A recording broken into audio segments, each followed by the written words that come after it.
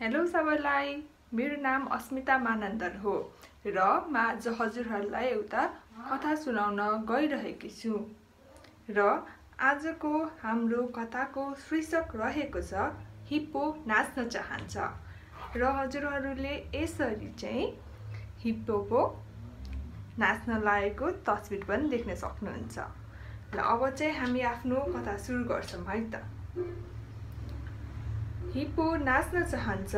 ऊ धुलाम्य भुइँमा उफ्रन्छ। ठ्याप्प ठ्याप्प।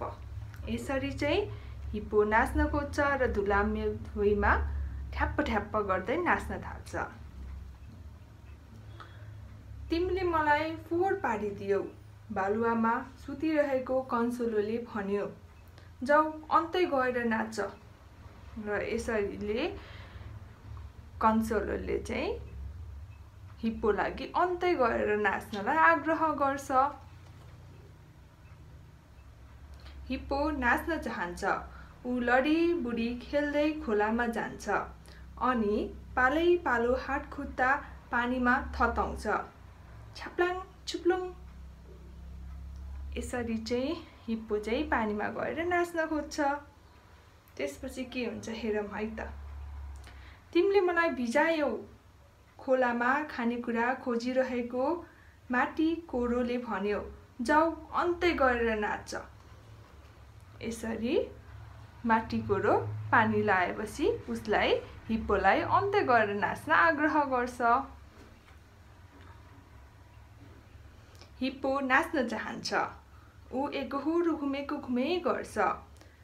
स्याय सुय यसरी हावासँगै हिप्पो नाचिरहेको हुन्छ। राम्ररी खेल तिमीले मलाई छन्डै लडाएनौ।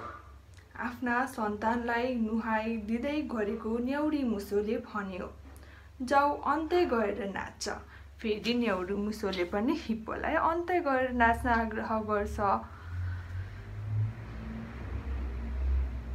हिप्पो अझै पनि नाच्न चाहन्छ। ऊ हिलोमा चिप्लेटी खेल्छ मडारिन्छ र सफा भुइँ हिलाम्य पार्छ। यसरी चाहिँ सफा भुइँ हिप्पो खेल्दा खेल्दा हिलाम्य पार्छ। त्यसपछि के हुन्छ हेर मै त। ए हिप्पो कति नाचेको नाचे गरे ह? बाल्टिन बोकिरहेको गदाले भन्यो चाहिने काम गर न बरु। यसरी बाल्टिन बोकिरहेको गदाले पनि हिप्पोलाई चाहिने काम गर भनेर सुनाउँछ।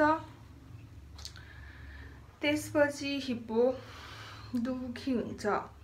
अब त उसलाई नाच्न पनि मन लाग्दैन।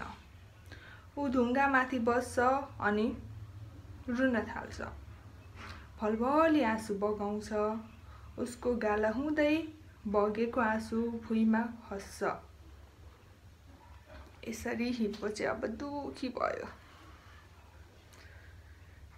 तप्प तप्प फट्याङ्ग्राले आँसुको थोपा झरेको सुन्छ। ऊ हिप्पोको खुट्टा वरिपरि नाच्न थाल्छ। यसरी। हिप्पो र फट्याङ्ग्रो नाच्न थाल्छन्। अरू जनावरहरू उनीहरूको नाच हेर्न आउँछन्।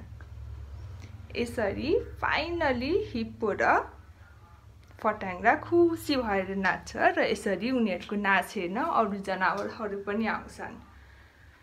हस् त धन्यवाद। आजको लागि हाम्रो कथा यति नै रहेको छ। धैर्य गरेर सुनिदिनु भएकोमा धेरै धेरै धन्यवाद।